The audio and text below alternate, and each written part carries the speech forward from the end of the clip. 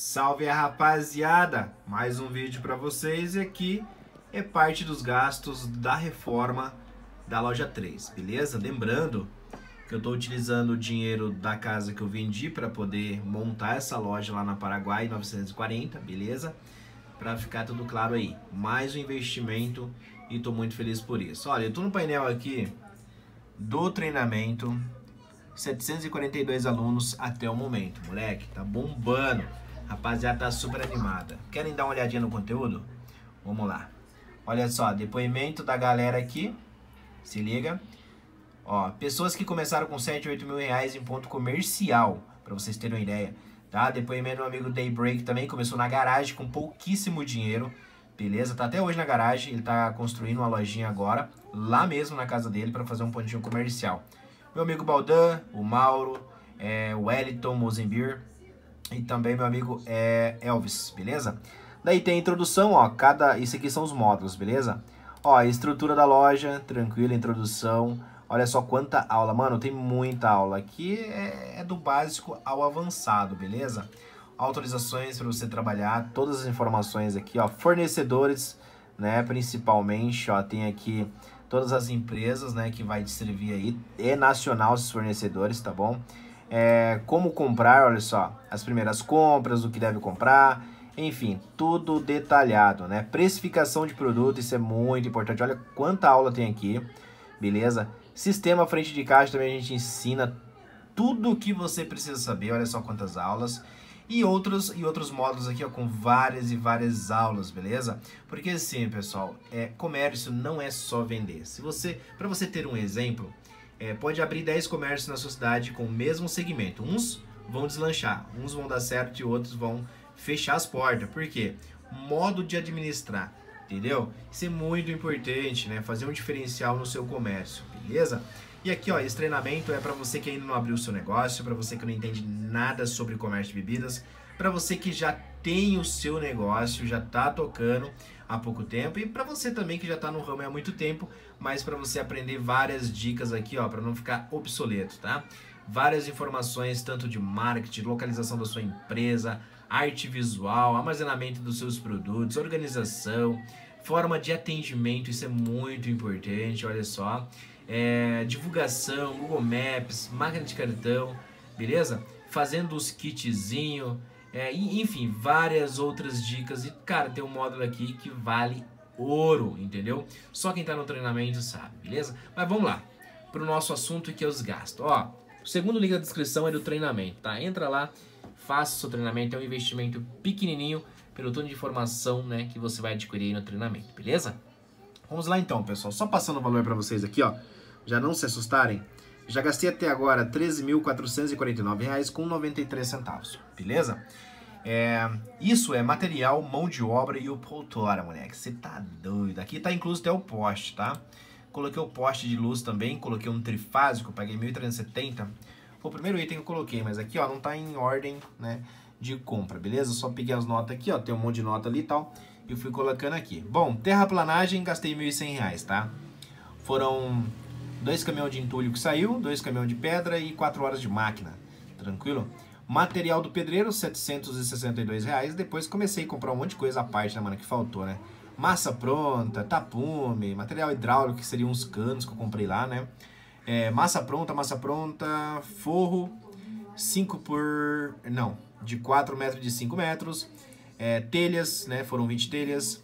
É, elétrica, mão de obra, paguei 2 mil reais, tá? Eu sei que tem pessoas que vão achar que tá caro, outras vão achar que tá barato. Eu achei justo, tá bom? Porque assim, ó, o predinho lá tem mais de, sei lá, mano, tem mais de 10 anos construído. Então, a elétrica foi mal feita. Para vocês terem uma ideia, não tinha quadro de, de energia, mano. Não tinha quadro, então não tem como eu colocar vários equipamentos novos lá para correr o risco de queimar, né? Estourar rede e tudo mais. Então achei viável.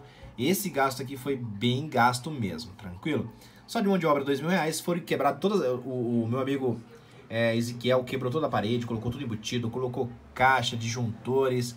Mano, fez um troço top. Puxou desde o poste lá pra dentro, né? Puxou fio também, quebrou a parede, puxou fio lá pro totem, ficou lá na esquina. Então, é, vale ressaltar isso aí, né? Vamos lá então, de material elétrico ficou R$ 2.272,33 centavos, tá? Que foram caixa de disjuntores, disjuntores, é, cara, aqueles bastão de cobre para fazer, né? Enfim, os mais caros foram os fios. Bastante fio 10, fio 6, enfim, um monte de coisa lá, fio 4 para tomada, né? Para puxar também pro quadro. É, foram seis lâmpadas também de LEDs grandes, né? Então tudo isso aí é, chegou nesse valor, R$ 2.272,33 centavos, tá bom? A mão de obra do pedreiro, 940 reais, beleza? É, totem luminoso, 1.265 reais. Tinta esmalte pro beral lá foi 90 reais. Tem uma tinta base d'água também pra gente passar lá dentro. Eu acho que eu não vou utilizar aquela tinta, mas enfim, né? Paguei 90 então. Grafiato completo ficou 1.800 reais. É, obra cano simples é, foi puxar o cano do relógio da empresa de água, que aqui é a Sanepar, até o encanamento do prédio, tá? Lá a gente teve que fazer algumas modificações e tal, mas enfim, ele me cobrou 100 reais. O grafiato ficou 1.800 reais, né? Já falei, o cano.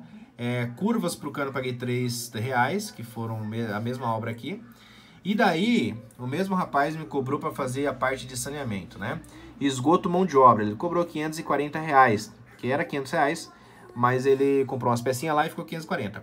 É, de manhã eu comprei o material para esgoto Claro que não ficou tudo isso aí só os canos, tá? Foram 18 metros de cano 100, curva e o de acha 4 lá. E 541 reais, mas aqui eu comprei uma lata de tinta esmalte de 300, 3.000, ah, caralho, porra, enroscou tudo aqui. 3 litros e 600 para pintar as portas. Então tá incluído nesse orçamento aqui também, tá? E o poste 1370, tranquilo? Então gastos até agora foram esses. Eu acredito, pessoal, que eu não vou ter mais gasto nenhum lá, tá? Esse aqui é o gasto final já, beleza? Claro que tem outros investimentos, né? Tipo, mandei fazer prateleira e tudo mais, isso aí não é reforma, isso aí não faz parte da reforma. É, tem muitas coisas que eu fiz aqui que vai ser pro resto da vida. Tipo, parte de esgoto, o poste né, de luz lá da frente, o trifásico, é, parte de encanamento puxando para obra, isso aí não vou, né, não é provisório, né, porque vai usar na construção nova, tá? Pelo menos a, o cano da rua, né? Então, são coisas que não são provisórias. Mas assim, eu acho que ficou tão caro essa reforma aqui, eu achei que ia ficar mais barato, mano. Só que eu fui inocente, né? Tipo, mão de obra é cara e o material tá muito caro. Então eu acho que eu vou ficar pelo menos um ano trabalhando ali naquela loja daquele jeito, mano. Ah, detalhe, aqui não tem as grades, tá? Não coloquei as grades aqui. Não sei se eu vou colocar como reforma, mas eu acho que não, né? A grade não vou colocar como reforma, vou colocar em outra planilha, tá bom? Lembrando que essa planilha está disponível lá no treinamento para você baixar. Lá eu ensino você a usar ela né, para ter o controle total da sua empresa, tá? Você coloca o seu lucro aqui bruto, as despesas aqui, entendeu? O resultado sai aqui, ó, tranquilo? Daí você pode colocar os investimentos que você faz, é, tipo fundo reserva, dá para colocar dívidas que você tem fixas também, tipo ah, geladeira parcelada e tudo mais e para autora, beleza? Então essa planilha está disponível lá para você baixar no treinamento, tá bom? Então foram esses os gastos até agora, 13.449,93 centavos. É caro? Acho que não. Eu vou abrir semana que vem, então eu acho que eu consigo tirar esse mês esse lucro aqui. Consigo, certeza, tá? Mas eu vou postando tudo para vocês o que forem acontecendo. Eu tô bem otimista. Então esse mês eu tirando esse gasto aqui, tranquilo, mano. Claro que eu vou ter outros gastos, né, e tal, variáveis. Tipo, ah, talvez um combustível de um carro para eu levar umas mercadorias lá e tal. É, sacolas e tudo mais. Mas enfim, isso aí fica pra gente colocar na planilha no final do mês. Inclusive, eu vou fazer um balanço do mês. Mês que vem eu vou fazer um balanço. E vou mostrar certinho como eu faço, como eu ensino lá no treinamento, tá? Lá tá completaço sobre administração, sobre essa parte aqui de planilha e tudo mais. Eu vou fazer uma aula adicional aqui no, no não é nem uma aula, né? Eu vou postar um vídeo aqui no YouTube é, explicando como que funciona, tranquilo? Como que eu faço para controlar tudo para vocês entenderem como que é interessante ter toda a parte financeira. Parece difícil, pessoal, mas não é não. Tá? A partir do momento que você consegue organizar as suas, suas finanças, você consegue ver o resultado, tá? Se você trabalha Deus dará, não anota nada, você não vê o resultado acontecer, tá bom? E você acaba desanimando, você não vê dinheiro, dinheiro some, mercadoria não tem mais, é, é complicado, tá bom? Então fica aí ó, a dica para vocês, esses foram os gastos lá na loja, tranquilo?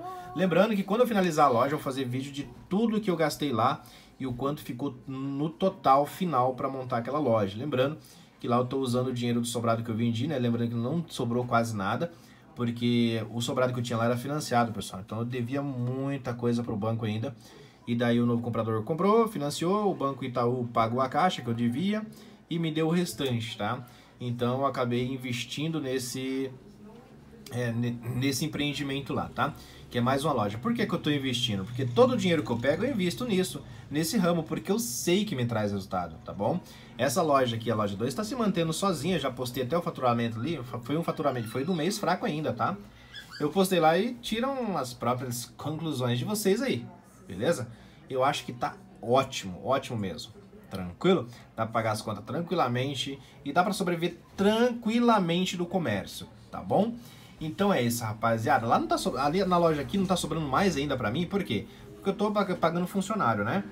Tô pagando dois funcionários e um freelancer. Então, era um emprego que seria para ser meu, eu tô pagando. Por quê? Porque eu tenho canal no YouTube, eu tenho curso para administrar, tenho tudo. Eu não tenho tempo hoje de ficar atendendo a loja. Então eu sou obrigado a pagar funcionário para trabalhar para mim. Mas se fosse para eu sobreviver dessa distribuidora, cara, sobreviveria com um salário gigantesco que jamais eu ia ganhar, nem se eu tivesse uma faculdade. Uma das melhores faculdades aí, beleza? Então fica a minha dica para vocês. O vídeo ficou grande, mas foi interessante porque, né, a gente abordou vários pontos aqui. Então eu gosto sempre de conversar e eu acho interessante. Ó, dê seu like, isso é importante, tá bom? Me segue no Instagram, Kawaii Distribuidora. Se você quiser também comentar aqui, comenta aí, porque o seu comentário é sua digital aí na internet, né? Todo mundo vai saber que você passou por aí, beleza? Então é nós, estamos junto e eu vou postar mais vídeo aí sobre a loja, né? Não sei se eu vou postar amanhã, mas a gente vai fazer alguma coisa lá amanhã também. Hoje foi, nossa, foi sensacional, a gente fez bastante coisa, né? Rendeu bastante o dia, inclusive num feriado, né? Hoje é dia 2, só o horário que tá errado ali, porque agora é 8 horas e 47. E, mas é 2 do 11. Tá bom, rapaziada? Isso aí mesmo. Eu tô muito confiante nesse final de ano aí. Eu tenho certeza que na loja 2 aqui vai faltar equipamento para gelar bebidas, porque o movimento tá muito bom e vai aumentar muito mais, tá? Então vou, já vou ter que correr atrás de equipamento e o pau tora, moleque, beleza? Então é nós, estamos junto.